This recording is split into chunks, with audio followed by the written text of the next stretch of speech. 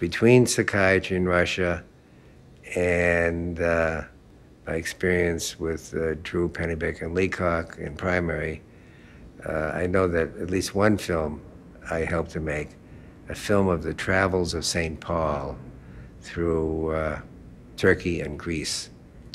I was the cameraman on that.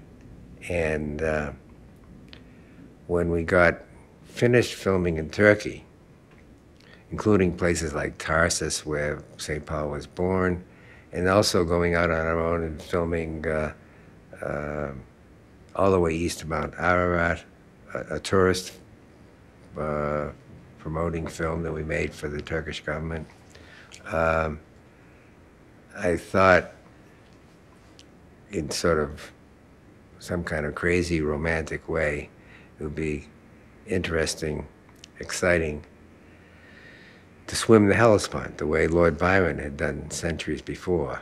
And uh, so when we got to Canakkale on the northwest coast of Turkey, I jumped into the water and in, in no way a, a, skillful swimmer, but a very determined one.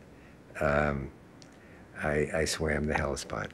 And uh, uh, Charlie Sharp, the guy that I was working with, he handled the camera from a rowboat with a uh, naval officer from the Turkish government, right, uh, and filmed me